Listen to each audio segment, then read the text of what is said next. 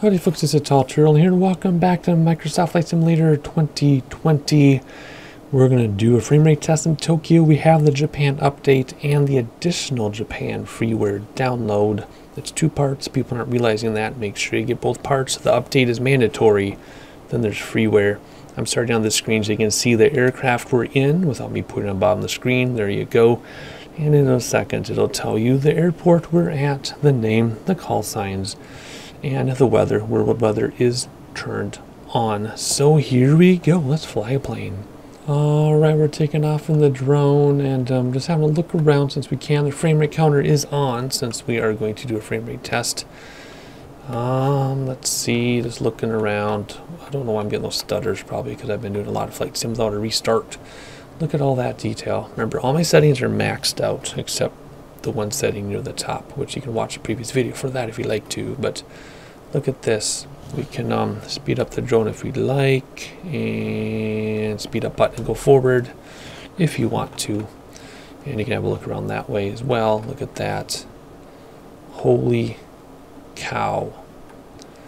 So anyway, we're going to take off and head this direction because there is downtown Tokyo right there. So we're in the 152, and that's on purpose because um, I need a slow plane, and I don't have any other planes yet um, set up with views and things. So we're just gonna take this plane, even though we've been in it many times before. Although we are using different livery, I have like 75 liveries of this thing or something.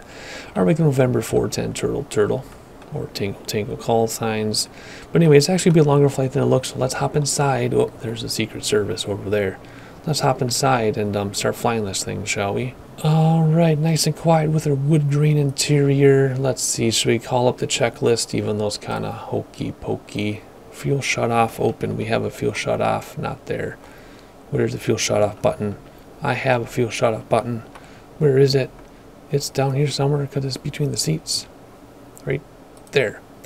I don't know what I was thinking when I set these press presets. It's right there. Okay, we got it. Um, check that off. Brakes tested and set. They are. Okay.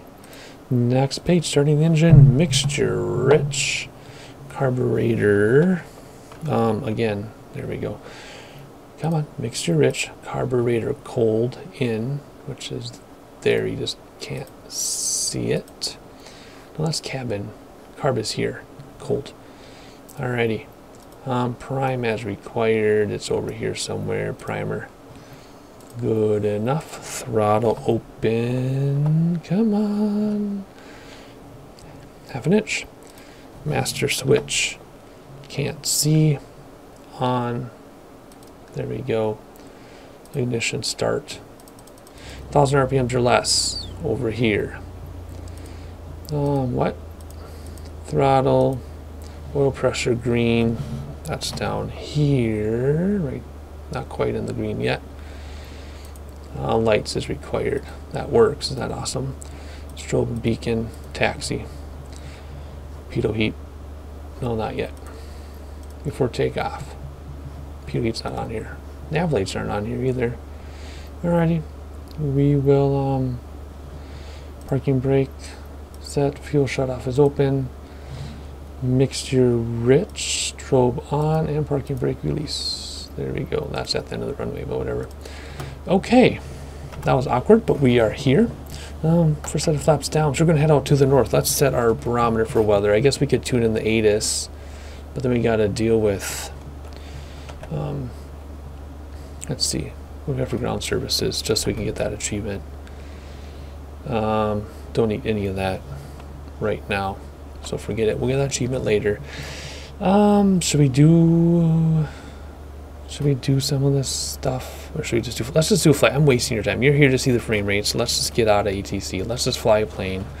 Um, what do I have for flaps? Did I put flaps down yet? I did. Let's just taxi to the north, hit B for the barometer, hit D to align it with the compass, parking brake off. We want to depart north. So let's just go out here. Well, I don't really know which way we're going. Hang on. Pull out the drone. Where are we going? Where are we? We're going to, yeah, go left and then fly. Let's go. let's go. Alrighty, slow down a little bit. We're going kind of fast. There we go. Look down here, turn on the rest of the lights. And no fuel pump or anything, at least not that I know of. So let's roll out. And let's go look at Tokyo and see if we can stay above 50 frames per second. I seem to be hovering between 38 and 48 different parts of the world with everything cranked just about. So um, hopefully I remember to show you my settings when we're done because people like to see that. And away we go. Step on the brakes to stop those wheels from spinning and get the flaps up. We go. Then we want to head north. You can see Tokyo out the side window, downtown anyway. And you have this gorgeous scenery. Just ridiculously amazing. Look at that. Shadows and everything. Wow. Just wow. Alrighty, Tokyo should go to the left. There we go. Alright, as we cross the bay, we are likely to see a whole bunch of those POI markers, the points of interest markers, since I have them turned on. And we will hit the smart cam, which right now is still S on my keyboard because I forgot to change it. And we're hoping to get an achievement here if we get so many. I already did the achievement off camera where you hold it for three seconds and you get close. And then I landed on a um, bridge without gear down, but it did not get recorded. So anyway, we're going to head across the bay here and um, just check out these frame rates as we get closer to town. We'll be heading right into downtown Tokyo. Let's do a little bit of sightseeing on the way. Oh, there's a point of interest. Too far to see what it says though, but we're going to go by it. There we go, wind tower. So let's do a little bit of sightseeing and I'll see you at the wind tower.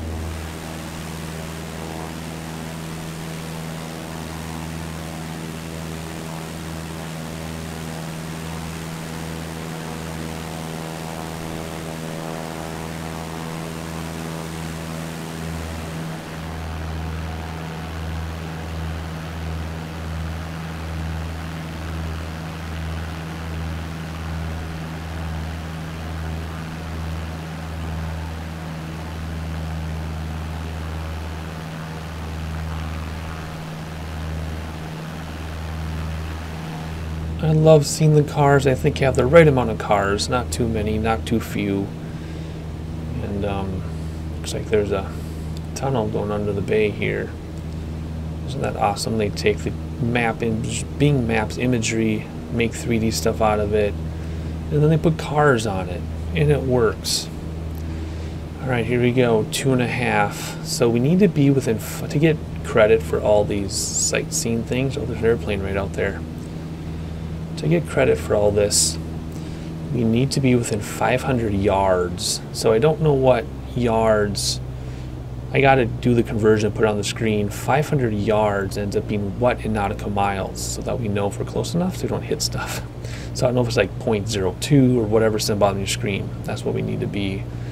Um, and then we just do the smart cam button, which is not pointing at this yet. And I still have to fix on my yoke to make simpler. I just hit button on my yoke instead to reach on the keyboard. So let's come down here. And um, we're going to get really close to it so we get credit for it. And then we'll hit our button. Hopefully not crash.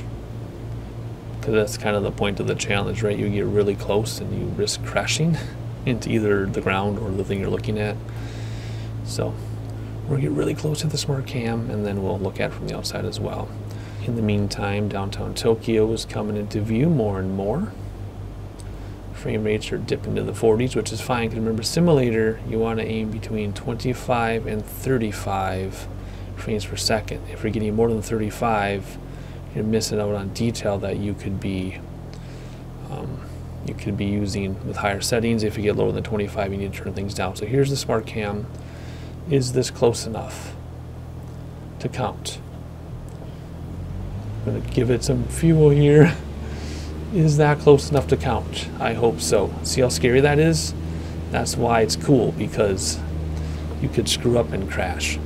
There we are looking back at it. That thing is awesome looking. I'm going to Google and research what that is.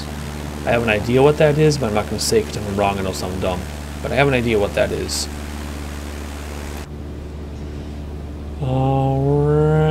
Here we go. It looks like we're getting in the way of the other airport there.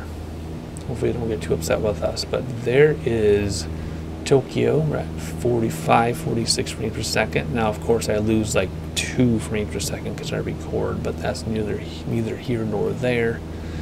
I just want to see the scenery. I will admit I did fly by earlier in a really fast plane because I was chasing storms. I didn't get to see anything because I was really high. I was like 7,000 feet going really fast.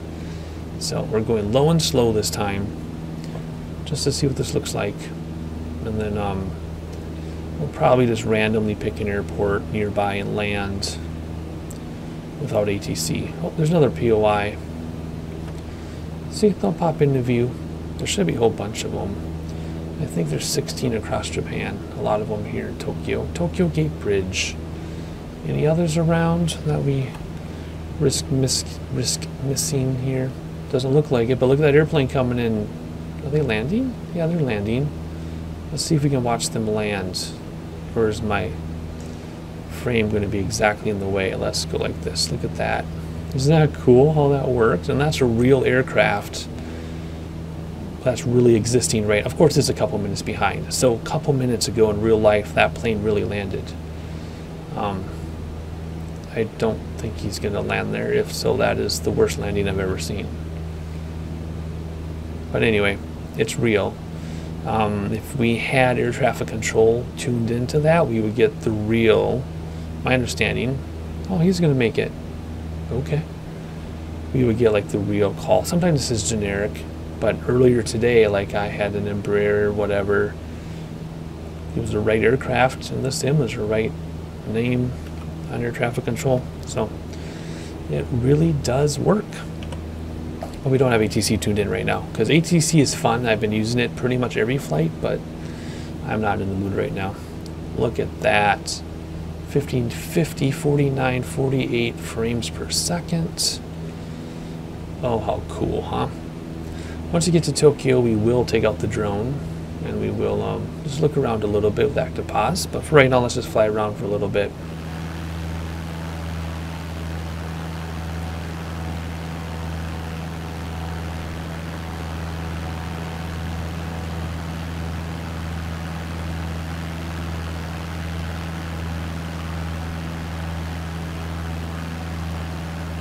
Alright, let's slow down a little bit here. What's our speed looking like? Yeah, we're, we're moving at a pretty good clip, so we can slow down a little bit.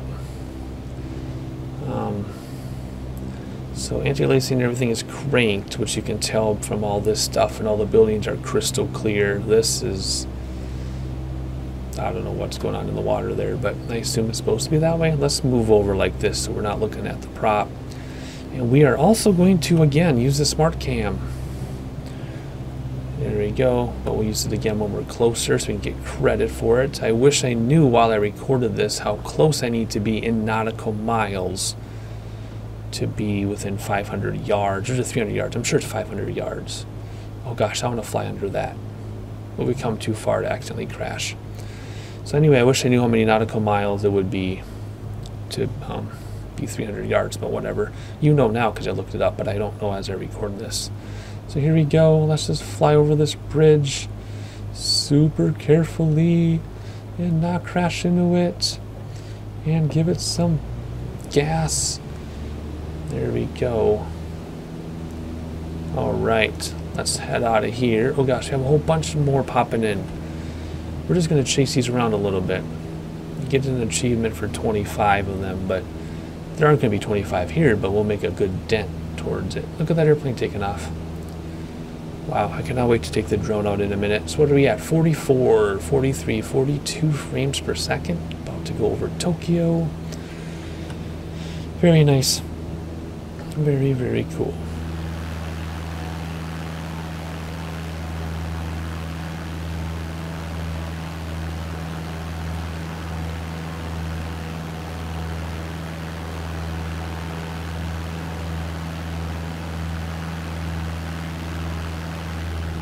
Wow, look at this. This is amazing. Look at the cruise ship docked over there. Look at this. Look at all these POIs. The sky tree. Look at that highway. that if that isn't as realistic as possible, then I don't know what to tell you. Holy cow! Let's slow this thing down so we can um, so we can get some more of our POI credits here. Look at that. There's four to look at here. There's one over there. We're just going to go around Tokyo. This is going to be more than a frame rate test. This is going to be a VFR test, I think. But not in extreme detail. Then again, maybe. Maybe once you get the drone out. A whole bunch more popped in. Alright, here we go. I don't know how close we need to be, but we got the speed to do it. So let's just come down here. And smart cam, oh boy. Climb, climb, climb, climb, climb, because that is collision. That is collision. So if you hit that bridge, you will. That's the end of your. That's the end of your trip. How do we not hit that building, or that tower, or the bridge? Holy cow! Okay, that was really scary. Um, I think you have to be within 300 yards of these. I know for some of them you do, for to count. Look at this. This is getting kind of dangerous right now. This is where we should be in the icon again. But, um, but let me see, what are we looking at for speed? Yeah, let's get going. Actually, let's get a set of flaps down so we can actually go more slowly through here. There we go. Wow, look at this. This is insane. Look at this. 33 frames per second. So we're right in that sweet spot between 35 25 and 35. This is exactly where you want to be when you are doing a flight simulator. Very nice. Okay, oh boy, we almost stalled. Let's go, let's go, let's go, let's go. this is very dangerous and very risky, but I know what I'm doing. I've been doing this a very long time. Look at that. Oh, she should have shut her shades. Alright, a whole bunch more POIs. I don't think we're going to get to all of these. I wanted to hit them all, but that would make for a very long video. So let's do a few more here without crashing into stuff. And then we will um, take out the drone and have a look around. So we're going to get two for one today. Frame rate test and VFR test, I think, after all. Look at this. Oh my gosh, I'm never going to get to Tokyo probably, so this is the next best thing. And look at that, 31, 30 frames per second. That is perfect for a flight simulator. Like I was saying, if you have more than 35, then you want to crank up settings because you're missing out. If you have fewer than 25, you got to dial it back or else it's not smooth enough. So, we got a National Gymnasium and a whole bunch of more stuff. And then we'll come back because we get to the edge of town and then we'll check out the other things, some of the other things. And then the drone. What if I hop outside? Well, okay, we're going fast enough. I can hop outside, right? Look at that. That is so awesome. We got this nice park. That is so cool. Can we spin around? I think we can. Yep. Alright, reset that view. There we go. Okay, let's hop back inside now and slow down. And let's see, we're going over the gymnasium. That's okay. All right, see, this is why I need this button on my yoke, because I don't have enough hands to look and make sure we're not going to crash, see? Because if I had the button on my yoke, then I can control everything at once. But So I actually have to put it on my left side, don't I? Anyway. All right, here we go. This is going to get interesting. All right, let's climb a little bit. We still have flaps out. We're going to keep them out. We're going to have a peak here. Oh my goodness. Yeah. If that 300 yard thing applies to all these achievements, we're not going to get it with um, with these landmarks. Plus, I don't even know if all landmarks count. This is the star landmarks, but I haven't been able to see anything with little stars. So, oh boy. Oh boy. Um, if we touch these buildings, we will crash, and that will be the end of our day. Okay, flaps coming in. Let's just get out of here. Let's not worry about getting our landmarks here. Because if we touch, you will... Yeah, that's a long way to come. So let's hit S and see a couple of these. There we go. It needs to be three seconds, I think, or is it five? I don't know. I'm probably mixing up my achievements. So those of you who know what I'm talking about, if it's wrong, don't laugh at me, because by the time you've seen this, I've already researched and corrected myself in my head if it needs to be done. Look at that.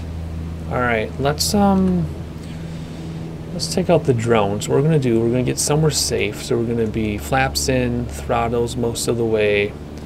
Then we'll active pause. There we go. We'll take out the drone, and we will move the mouse out of the way and reset the drone. There we go. And um, let's have a look around here. So let's see, we want to slow things down. And there we go. And let's have a look. Let's go for a fly here. Let's get away from that airplane so it's nice and quiet. Wow. Oh, that's a good speed. We'll keep it at the speed. And the airplane should get softer. Look at the traffic down there. Look at the traffic. What are we at? 44, 43 frames per second. I guess we're not in the heart of the tallest buildings, but these buildings, you know, every object hits frames. So just because these are tall buildings doesn't mean it's going to be more or less of a hit than these. In fact, these could be worse, right? Um, I was doing some flights on my own a little bit ago where it was a rural area but a city, kind well, you know what I mean. Not wasn't a big metropolis, it was a big city, and it actually caused my frame rates to go down in the high 20s because of all the objects, even though it wasn't a big city like this. So look at this. Wow, let's just let's just go down here because we can. Look at that. Oh, look at it looks like dystopia. I love dystopia. This doesn't bother me at all. now, this is not a, um, you know, cycling simulator or jogging simulator. Do you hear the sounds though? Listen, I'm gonna be, I'm gonna shut up and listen.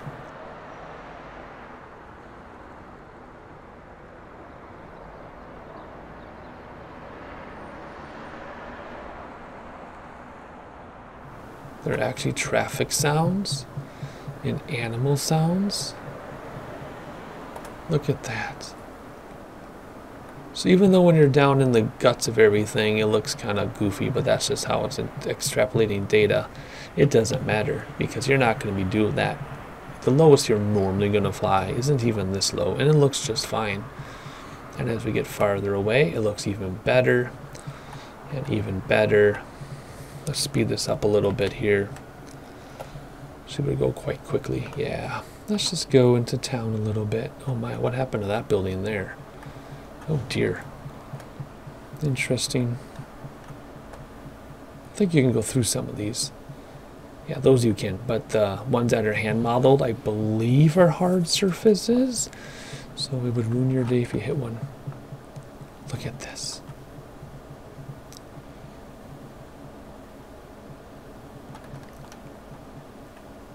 Look at that waterway and the cars going over the bridge. So we're at a solid 40 frames per second there. Then we're down to 35 here because of all the buildings in the center of your screen. Not because of the tall ones, because of the ones in the center. So everything cranked. I'll show you the settings at the end. Everything cranked. Um, except for one thing. In 1440p, I'm not in 4K. I don't have a 4K monitor. 1440p everything cranked except one thing. I just have a 2080, just a regular 2080, and um, an i7. I think it's an 8700. I think not overclocked, air cooled, 32 gigs of RAM. Nothing special. I actually have a review of my PC on the channel if you just Google or if you just search it back a little bit. What's going on there? Whoops, I went too far. That's cool. Look at the green space. Oh, that's another thing I have to do. Again, note to self. I have to um, do a rural Minnesota VFR flight just to see what happens with all the trees and things. Because up high, the trees are awesome, but when you get close, I think the trees look kind of nasty, to be honest. But we'll see. Look at all this stuff. Wow. This is just Tokyo, and all of Japan has been done. Googly moogly. Oh, let's check out the dive building again since we... Oh no, it was a gymnasium over there. We couldn't see very well. Let's head back this way and then we'll jump to our airplane in a moment and then we'll fly around a little more and we'll just pick a random airport to land at.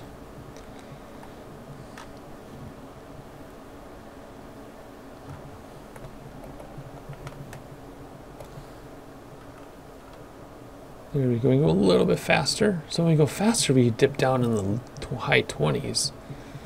That's interesting. Oh, now we're back up to 30. Okay. Let's go down a little bit, see what happens. Oh my gosh, you can like walk the streets. Look at that.